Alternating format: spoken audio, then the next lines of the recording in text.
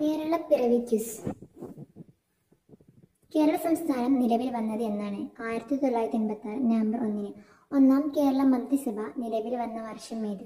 ഉത്തരം ആയിരത്തി തൊള്ളായിരത്തി എൺപത്തി ഏപ്രിൽ അഞ്ച്. കേരളത്തിലെ ആദ്യ ഉപമുഖ്യമന്ത്രി ആര്? ഉത്തരം ആർ ശങ്കർ. ആയിരത്തി തൊള്ളായിരത്തി എൺപത്തി ആറിൽ കേരളം രൂപീകരിക്കുമ്പോൾ ഉണ്ടായിരുന്ന ജില്ലകൾ ഏതൊക്കെയാണ്? ഉത്തരം തിരുവനന്തപുരം കൊല്ലം കോട്ടയം തൃശൂർ മലബാർ. കേരളത്തിലെ ആദ്യത്തെ മുഖ്യമന്ത്രി ആരായിരുന്നു? ഉത്തരം ഇ എം എസ് നമ്പൂതിരിപ്പാട്. കേരളത്തിലെ ആദ്യത്തെ ഗവർണർ ആര്? ഉത്തരം ബി രാമകൃഷ്ണ റാവു.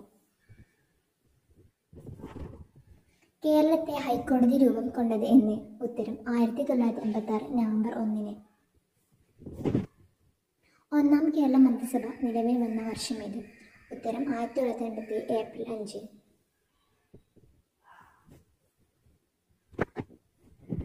കേരളത്തിലെ ആദ്യത്തെ ദേശീയ ഉദ്യാനം ഏത്? ഉത്തരം ഇരവിക്കുളം.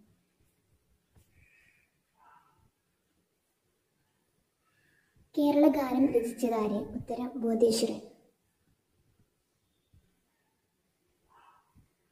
മലയാള സർവകലാശാലയുടെ ആസ്ഥാനം സ്ഥിതി ചെയ്യുന്നത് എവിടെയാണ്? ഉത്തരം തിരൂർ മലപ്പുറം ജില്ലയിൽ. നിലവിൽ കേരളത്തിൽ എത്ര ജില്ലകളുണ്ട്? ഉത്തരം പതിനാല്.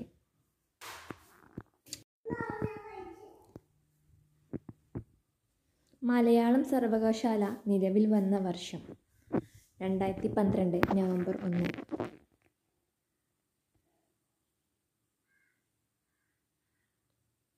വയനാട് ജില്ലയിൽ ഉത്ഭവിച്ച് കർണാടകത്തിലേക്ക് ഒഴുകുന്ന നദി. ഉത്തരം കബനി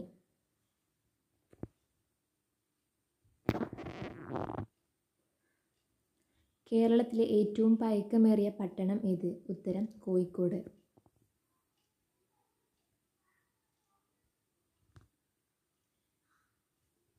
പുകയില ഉൽപ്പാദിപ്പിക്കുന്ന കേരളത്തിലെ ജില്ല ഏത്? ഉത്തരം കാസർഗോഡ്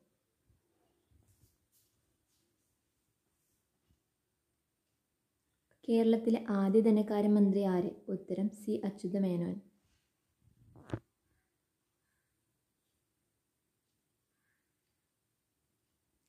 ഐക്യ കേരളം എന്ന പ്രമേയം പാസാക്കിയ നാട്ടുരാജ്യ പ്രജാസമ്മേളനം നടന്ന സ്ഥലം ഏത്? ഉത്തരം എറണാകുളം.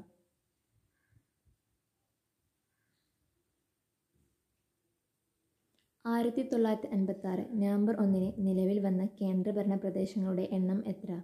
ഉത്തരം ആറ്.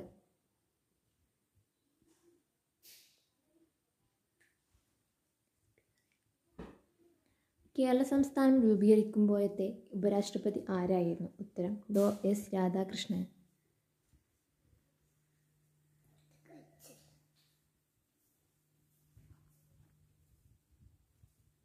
ഇന്ത്യയിലെ ആദ്യത്തെ ഡിജിറ്റൽ സംസ്ഥാനം കേരളം.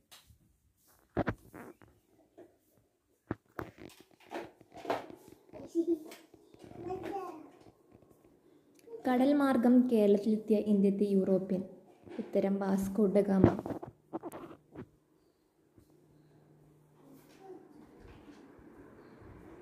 കേരളപ്പിറവി ഏത് മലയാള മാസത്തിലാണ്? ഉത്തരം തുലാമാസം.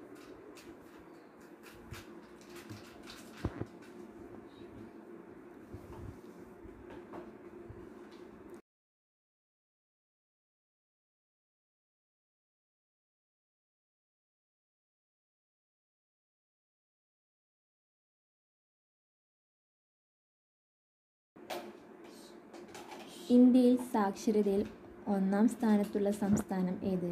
ഉത്തരം കേരളം.